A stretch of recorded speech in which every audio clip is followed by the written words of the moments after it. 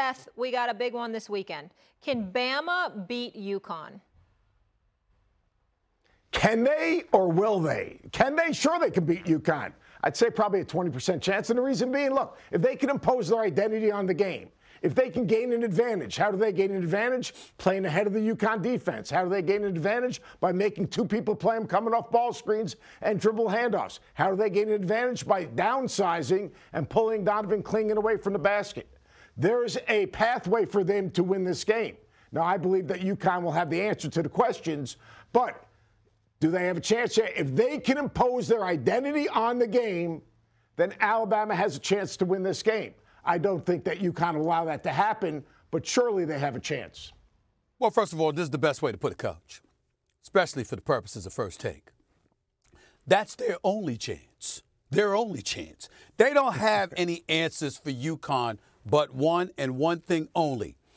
This is one of the leading teams shooting from three point range. They led the nation in scoring with over 90 per game. Uh, they were one of only four teams in the NCAA that averaged, you know, that, that shot, you know, as, as many threes as they did, and they're shooting 37% from three point range this season. That's the only chance you got. You can't match up with UConn size. You can't match up with their tenacity, their their togetherness, what they do cohesively as an offensive unit, what they do cohesively as a defensive unit. We're Clingan in the middle, this is a guy. Illinois was 0 for 19, 0 for 19 on shots he contested. This is not a guy that you want. You don't want to go near him, okay? If you're Alabama, you got to launch from outside, and you're gonna have to make those shots. And not only that, you're gonna have to push the ball up the court. Anything to stay away from UConn's bigs. Push the ball up the floor, beat them up the court. Try to get into the open court and create opportunities for yourself that way. Not that that should work, but try that. And other than that, three point shooting. It's really your only hope, coach. It's really your only hope for, for, for Alabama. Well, it is. 50% of the shots come from the three point line. They made 16 the other day. They make 11 and a half a game. They've, like you said, Stephen, they average 90 points a game. So, like, UConn's got to do what they did basically to Illinois. That's basically take them out of their game. I mean, they absolutely dominate them on the defensive end. The matchups will be the thing to watch. The matchup of Clingan on Grant Nelson. That will be a thing to watch. And then I think Stephen Castle will defend Mark Sears. Mark Sears has averaged about 24 a game in the NCAA tournament. 51% Mark Sears shooting. is a dynamic guard, but Castle has the ability at 6'6 to shut him down. Sears is at 51% shooting from the field, 45% from three point range. He would need to Yeah. do at least that in this game in order for Alabama to have a chance. Okay, Coach, let's talk, legacy here. Where do you think a sixth Hmm. title puts UConn among the all time great men's basketball programs? They're the bluest of bloods. Eh, I call them a new blood. In the last 30 years, that would give UConn their sixth, their sixth national championship. Uh, Duke has three. Carolina has three. Kentucky has three over the last 30 years. That would be that would be UConn's sixth.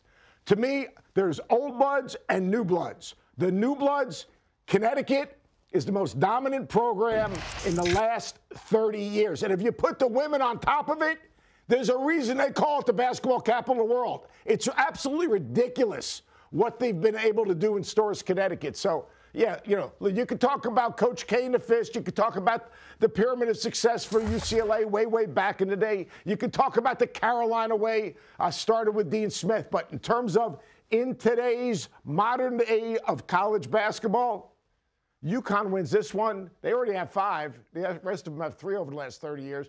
If UConn wins this one, they are the bluest of blue bloods. You don't get to say that, coach.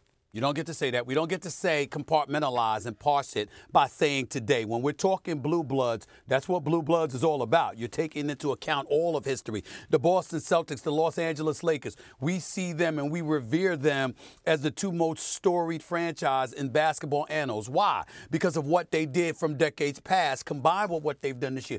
Boston only has one title. You know, I mean, since since, since the '80s, for crying out loud, you won in 2000. You, you won in 2010. Okay, you lost in 2000. I'm sorry, you won in 2008, lost in 2010 to the Los Angeles Lakers. You've been knocking on the door with Tatum and Brown ever since, but you haven't closed the deal. LeBron and the Lakers won a title during COVID. All right, prior to that, they hadn't won a title since Kobe with the you know back-to-back champions, and they went to three straight NBA Finals. Prior to that, they you know they was on the verge of three. You know they three-peated. You got that going on. Here's what I'm telling you: you got to take into account history. And when I think history, I got UConn right up there, top three.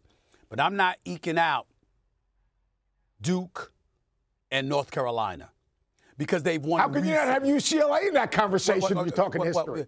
Well, well uh, again, I'm talking history, but I'm saying history paired with today. I'm not saying that you omit history, you don't omit today. You take it all into consideration. One of the things we lament about John Calipari is that even though you won a decade ago when Anthony Davis was the man in the middle for you, you've got one title in 32 years as a coach. In Kentucky, you've been there for 15 years, you only got one title. We're looking at it from that standpoint. When we look at Krzyzewski, we know what he meant to do. When we look at what Roy Williams did and how he restored North Carolina, okay, we see what he brings to the table. And you see that rivalry and the fact and the fact that they were an impediment to the other's success.